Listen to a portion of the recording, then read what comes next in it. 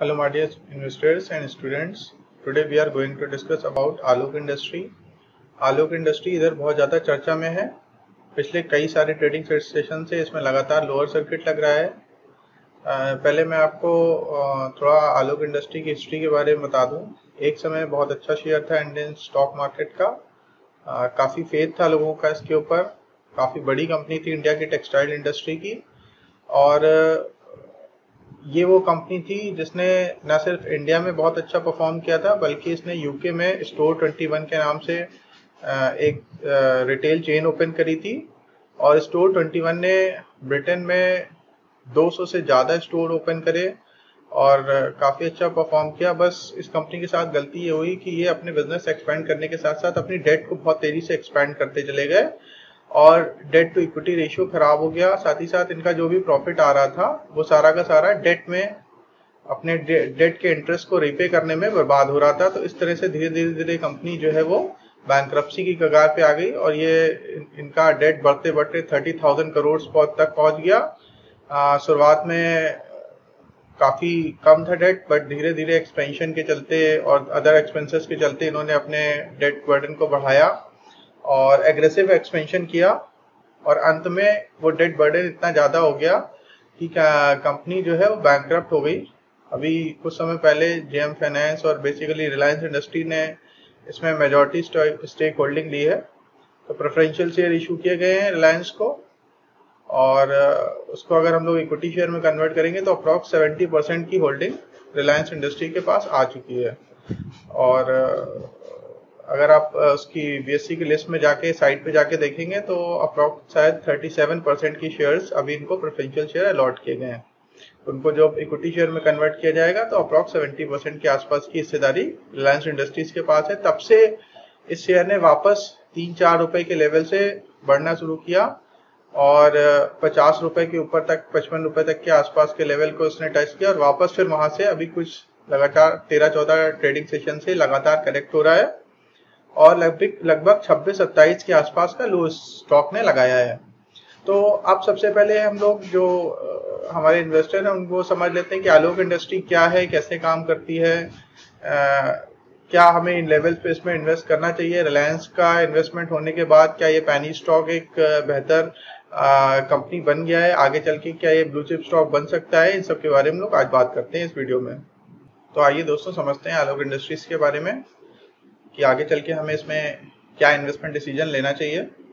तो आलोक इंडस्ट्री एक Indian ISO certified company है टेक्सटाइल मैन्युफैक्चरिंग कंपनी है based in Mumbai its main business involves weaving knitting processing home textile readymade garments polyester yarn और लगभग 26 percent अपने product को export करती है दुनिया के 90 देशों में।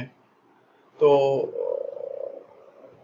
जिसमें United State Europe South America Asia Africa इन सब जगहों के देश शामिल हैं इसमें। Reliance industry and JM finance limited ने इसको ऑलरेडी टेक ओवर कर लिया है अक्वायर कर लिया है, जब बैंक फ़ाइल करी थी इस कंपनी ने। और बड़ी अच्छी बात यह है मोटा भाई अंबानी की, मुकेश भाई अंबानी की, कि उन्होंने इस कंपनियों को कौड़ियों के भाव खरीद लिया है। और उन्होंने बेसिकली जितना पैसा रिलायंस इंडस्ट्री ने खुद इन्वेस्ट किया, उतना तो शायद उन्होंने अपने घर में बच्चों की शादी में उससे ज़्यादा पैसा खर्च किया होगा। उन्होंने अप्रॉक्स ढाई तीन सौ करोड़ के आसपास पैसा रिलायंस इंडस्ट्री ने खुद लगाया है। साढ़े पाँच सौ करोड़ के आसपास ने उन्होंने इस कंपनी को खरीदा है, जिसमें से बाकी सारा पैसा डिफरेंट डिफरेंट बैंक्स ने दिया है एस बी आई आईसीआईसीआई इस तरह के जो दूसरे बैंक है, बड़े बैंक हैं इंडियन कॉमर्शियल बैंक उन्होंने पैसा दिया है लोन दिया है रिलायंस को, उस कंपनी को अक्वायर करने के लिए। और मोटा भाई अंबानी ने सिर्फ़ ढाई ढाई सौ करोड़ के आसपास की इन्वेस्टमेंट करी है रिलायंस इंडस्ट्री ने डायरेक्टली यानी कि एक तरह से लगभग फ्री में उनके हाथ में कंपनी आ चुकी है। अब ये देखना है कि रिलायंस इसको कैसे टर्न अराउंड करता है और रिलायंस पिछले एक दो साल में और इवन अगर और शॉर्ट टर्म की बात करें, पिछले एक दो महीनों में लॉकडाउन ही लॉकडाउन में उन्होंने दुनिया में सबसे ज़्यादा इन्वेस्टमेंट उठा लिया है और दुनिया की सारी दिग्गज कंपनियों से उन्होंने इन्वेस्टमेंट उठाया है इंक्लूडिंग फेसबुक गूगल माइक्रोसॉफ्ट के साथ भी उन्होंने डील करी है। तो इस तरह से और बड़े बड़े जितने भी इन्वेस्टर्स हैं आ, अमेरिका के यूरोप के उन्होंने काफ़ी ज़्यादा इन्वेस्टमेंट किए हैं रिलायंस इंडस्ट्री में। और मोटा भाई अंबानी मार्क जुकरबर्ग को अभी वेल्थ में पीछे छोड़ने वाले हैं। अभी अभी उन्होंने वॉरेन बफेट जिनको ओरेकल ऑफ़ ओमाहा कहा जाता है इन्वेस्टिंग के गॉड हैं उनको भी नेट वेल्थ में पीछे छोड़ दिया है क्योंकि रिलायंस की मार्केट कैपिटलाइजेशन बहुत तेज़ी से बढ़ रही है, उसका शेयर प्राइस 2000 के आसपास आ गया है और मेरे ख्याल से छह सात सौ रुपए से इसके शेयर प्राइस ने चलना शुरू किया था और एग्रेसिवली ये बढ़ रहा है। लास्ट ट्रेडिंग सेशन में भी तीन परसेंट का जंप आया है रिलायंस इंडस्ट्री में। तो रिलायंस ने अपने मार्केट कैपिटलाइजेशन को तीन गुना कर लिया है और रिलायंस इंडस्ट्री इंडिया की पहली ऐसी कंपनी बन गई थी जिसने इंडिया में 10 लाख करोड़ की मार्केट कैपिटलाइजेशन को पार किया और अब वो तेज़ी से बढ़ते बढ़ते काफ़ी ज़्यादा नेट कैप, मार्केट कैपिटलाइजेशन पे मोटा भाई अंबानी ऑलरेडी दुनिया के का, काफ़ी अमीर लोगों में शुमार थे और इधर उन्होंने अपनी रैंकिंग को बहुत ज़्यादा इम्प्रूव किया है। और सुनने में ये आ रहा है कि शायद अभी वो मार्क जुकरबर्ग की नेट वेल्थ को भी पार कर देंगे। तो इस तरह से एक जो प्रमोटर आलोक इंडस्ट्री में जुड़ा है, वो बहुत शानदार प्रमोटर है। उसका बहुत बेहतरीन ट्रैक रिकॉर्ड रहा है। इंडिया की सबसे बड़ी कंपनी है। तो इसलिए लोगों का थोड़ा भरोसा बढ़ा आलोक में और इसका शेयर ने जहाँ पे तीन तीन चार रुपए के लेवल पे आ गया था, वहाँ से बढ़ते बढ़ते उसने पचास रुपए के ऊपर तक के लेवल दिखा दिए, बहुत शॉर्ट पीरियड में। और वहाँ पे लेकिन इसकी वैल्यूएशन काफ़ी अग्रेसिव हो गई। लोगों को लगा कि शायद ये ओवर प्राइस है प्लस कुछ आ, लोगों को ये भी लग रहा है कि शायद इसमें कुछ बड़े ब्रोकर्स इन्वॉल्व हैं और कुछ इसमें बड़े सटोरी इन्वॉल्व हैं और जो प्राइस को इसके मैनुपुलेट मैनुपुलेट कर रहे हैं। सेबी की भी नज़र है आलोक इंडस्ट्रीज़ के प्राइस पे। तो देखना यह है कि सेबी क्या कुछ आगे चल के कोई एक्शन लेती है कि नहीं लेती है। अभी फ़िलहाल के लिए आप ये कह सकते हैं कि वापस इसके शेयर प्राइस ने करेक्ट होना शुरू कर दिया है। लगातार पिछले 14 ट्रेडिंग सेशन से ये लगातार लोअर सर्किट मार रहा है और लगभग 26 सत्ताईस रुपए के लेवल तक आया। ला, लास्ट ट्रेडिंग सेशन में इसने अपर सर्किट वापस से लगाना शुरू किया है। तो देख अब समझने वाली बात है क्या ये अपने अपर सर्किट को कंटिन्यू करेगा? या फिर हमें इस लेवल पे परचेज करना चाहिए या नहीं करना चाहिए, ये एक दुविधा की बात है। तो वो हम लोग अंत में इसको समझेंगे इस वीडियो के अंत में। उसके पहले हम थोड़े और फैक्ट समझ लेते हैं आलोक इंडस्ट्रीज़ के बारे में। आलोक इंडस्ट्री की हिस्ट्री के बारे में समझ लेते हैं। It was establish in 1986 in 1989 the company set up its first polyester texturing plant the company become public in 1993 पहली बार uh, 1993 में इन्होंने अपने आप को लिस्ट कराया था। बॉम्बे स्टॉक चेन में और नेशनल स्टॉक चेन में आईपीओ आया था जो सिर्फ़ मात्र 4 पॉइंट आईपीओ जो था वो 4.5 करोड़ का था। तो the company global Alok impact limited was amalgamated with Alok industries on first April 2011 तो इनकी दो कंपनियाँ थी जिसमें जिसका अमलमेशन किया उन्होंने 2011 में। और रिलायंस ने 37 परसेंट स्टेक अभी अभी आलोक इंडस्ट्री में परचेज किया है, ये प्रेफरेंशियल शेयर है, इसको अगर हम इक्विटी शेयर में कन्वर्ट करेंगे तो हिस्सेदारी लगभग 70 परसेंट के आसपास पहुँच जाएगी। Although it is own by Reliance industry Zewan finance भी इसमें कुछ थोड़ी बहुत हिस्सेदारी रखते हैं, जिन्होंने इस कंपनी का स्टेक अक्वायर किया है रिलायंस के साथ। और रिटेल रिटेल बिज़नेस में आलोक इंडस्ट्रीज़ काफ़ी महारत हासिल है और आलोक इंडस्ट्रीज़ के यहाँ पे रिटेल एच एंड ए के नाम से स्टोर्स चलते हैं इंडिया में और यूके में स्टोर 21 के नाम से इनके स्टोर्स हैं और Alok has 91 percent stake in global Alok UK limited जिसमें से 210 स्टोर इनके ब्रांड ट्वेंटी वन के नाम से यूके में बने हुए हैं और इंडिया में एच एन ए के नाम से 250 स्टोर्स हैं। और अगर हम इसकी समरी देखें तो 86 में बनी थी हेडक्वार्टर मुंबई, महाराष्ट्र में है। दिलीप युवराज का इनके एमडी हैं। ये इसका रेवेन्यू दिया हुआ है मिलियंस में 12 12 बिलियन यूएस डॉलर का 2020 का इसका रेवेन्यू था। नेट इनकम 4.8 बिलियन की थी।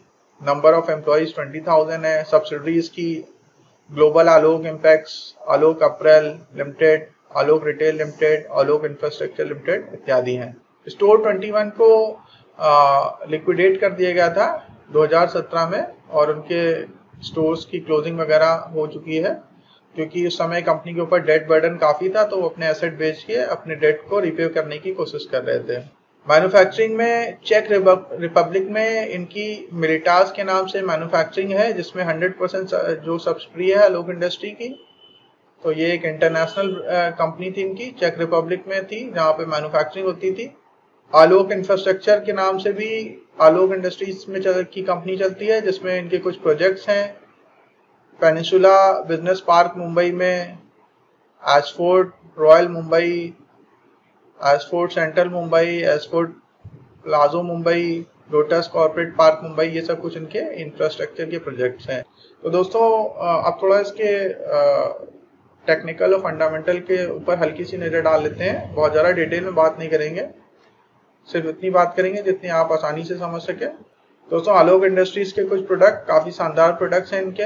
एप्रल्स बनाती है बेडशीट पिलो कवर काफ़ी बड़ी प्रोडक्ट रेंज है।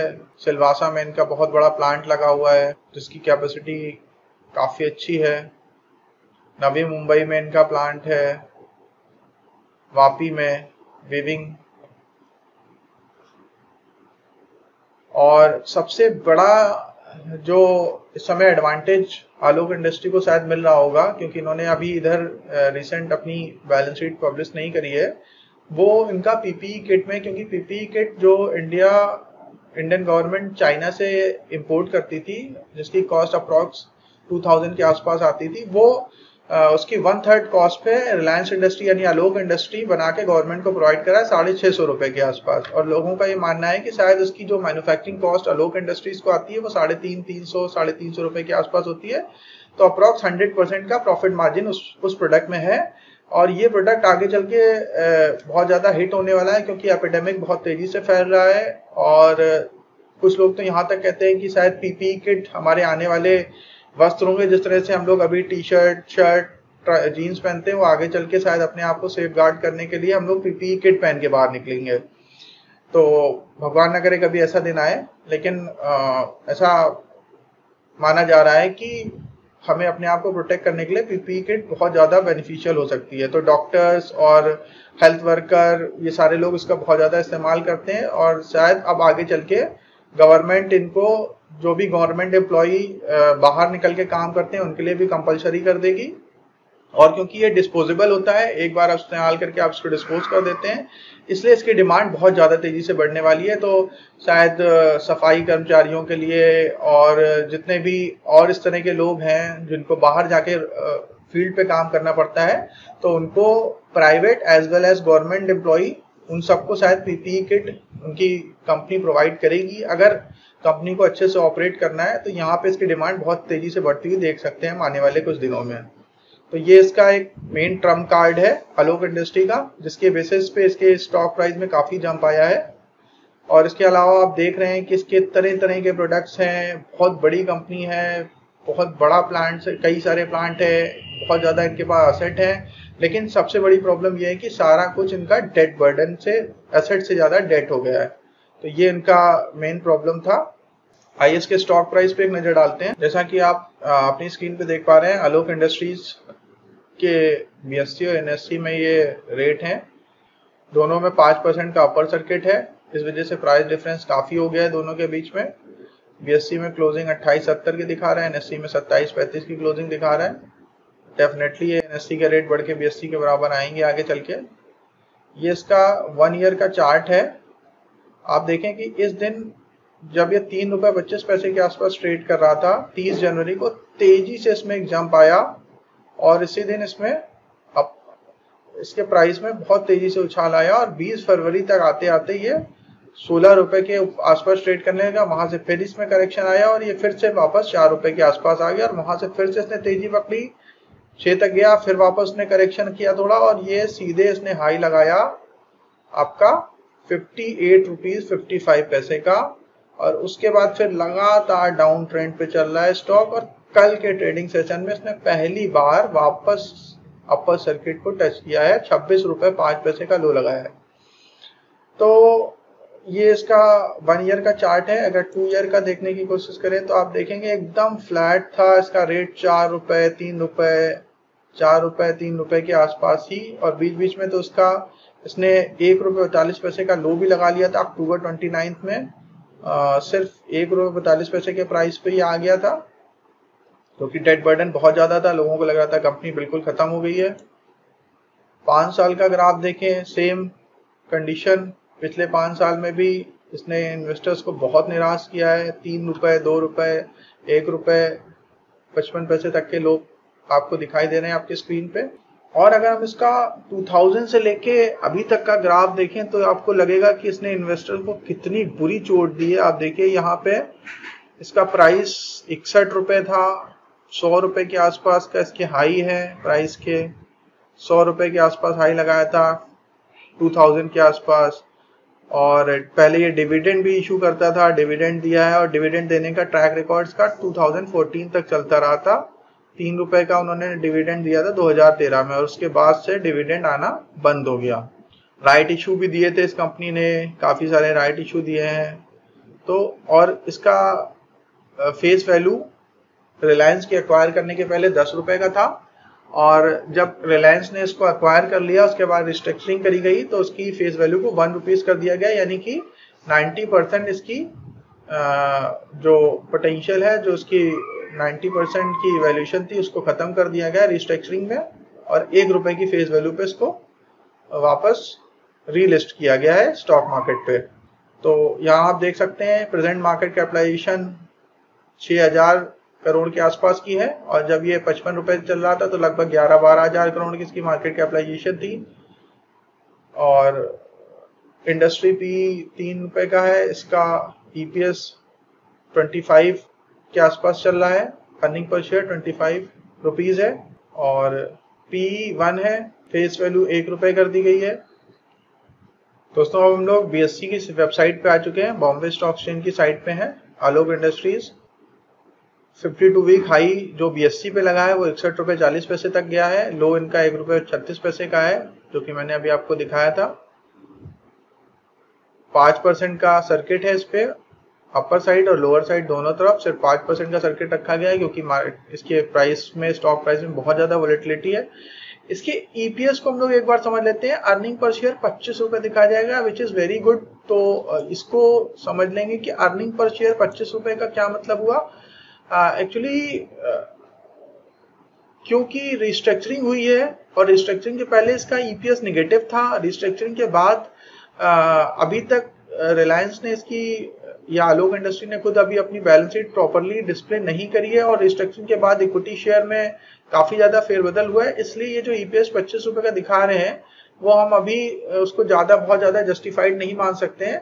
एक बार प्रॉपरली इसके दो तीन क्वार्टर के रिज़ल्ट आ जाएँ।